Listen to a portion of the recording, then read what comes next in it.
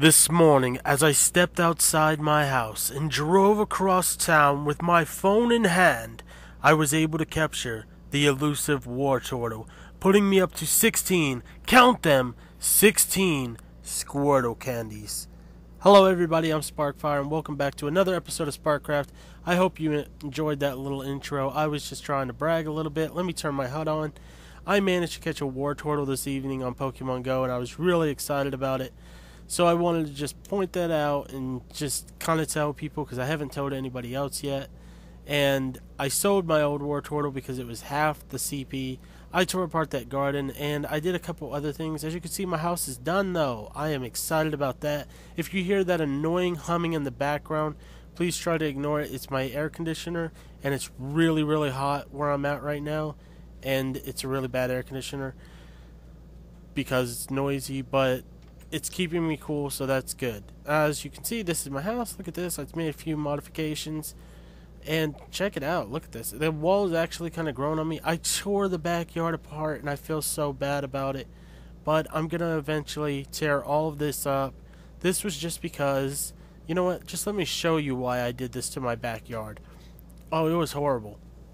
I no longer have access to potatoes, and that is because of my villagers. And here is why. Wheat. You come over here, we got some wheat. More wheat over there. Let's go over here. Why don't we just come down here and check on this wheat next to a fucking villager that won't plant anything but wheat. Come over here, little slightly mollified garden with a bunch of wheat.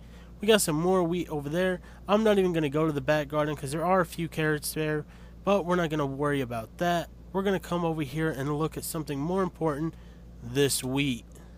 That's right. Whoa, what was that? Little baby villager. What kind was that? Was that like him?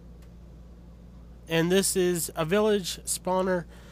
All my villagers died. I don't know where they went. They just started dying off, and I haven't seen any zombie villagers, so I don't know where they are. I put this door here earlier to finally let them outside so they can go explore the town.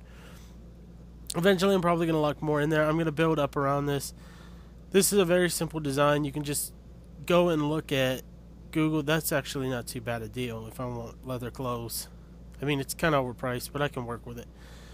But it's a very simple design. Just look up for a village spawner type thing and like a village, a villager breeding machine. That's what it is. It basically, just because all the doors are up top and everything, they'll all start breeding really fast. So you can repopulate your village with just two of them that's what I did, and now I've got a few villagers running around. I'm eventually going to stick them back in there, though, because I want more villagers than just this. I also planted trees back there and everything. Everything looks really nice so far, but we got more important stuff to worry about this evening, and I'm going to show you what that is. I went fishing. As you can see, I got my meats here.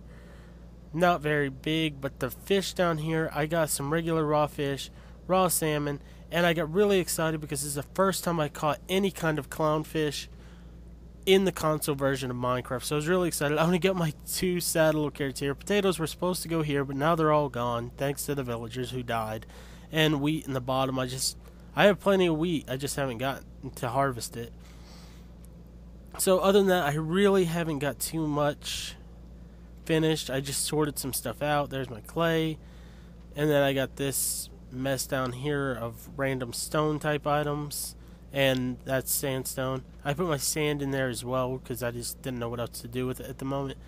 I put these pictures up, made it look a little more comfortable in here.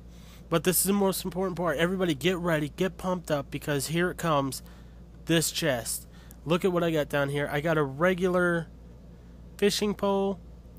Then I got this fishing pole, which I caught right before my old fishing pole broke. I caught this one. It's got Luck of the Sea, Unbreaking, and Lure, all threes. So that's the best fishing pole I think you can get. Then, of course, I got this bow with power 4, I think, and everything's really good. The saddle, the puffer fish. And then, of course, the name tag. Now, the name tag's the most important part. Since I can't find the villager that I wanted to try to name Peter, I'm going to have to work differently. I my iron should be done by now that I was smelting to work on this. And now we're going to make a anvil. Let's see, what was. I know it's 9 for this. Still getting used to, like, sorting that out. Um, oh, shit, didn't mean to do that. Okay, actually, that's the right number I need, so it's fine. Why wouldn't let me put it down? Put it there. Okay. I don't know why it wouldn't let me put it down for some reason. I could have just dragged that over to the side. I didn't really think about it. Uh, there we go. Three up there.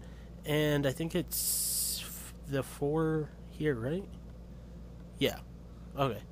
So we got an anvil, and now we get our name tag.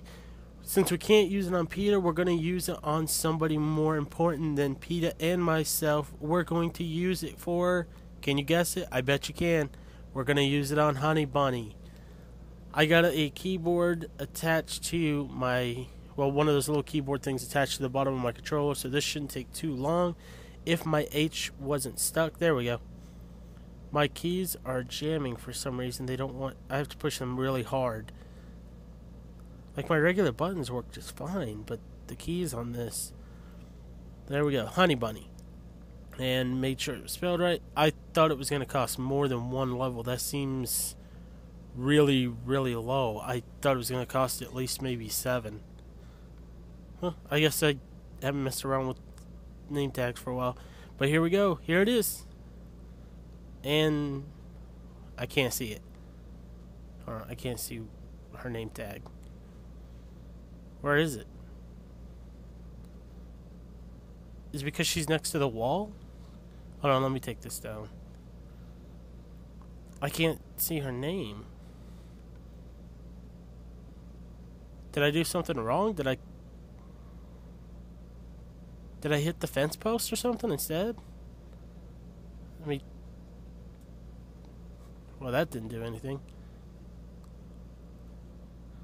Um, let me see if I put it on the fence post, maybe? No, get back in there.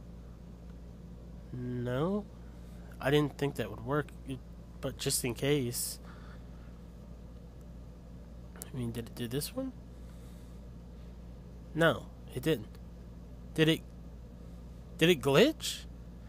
Oh god, I hope it didn't glitch. It probably did.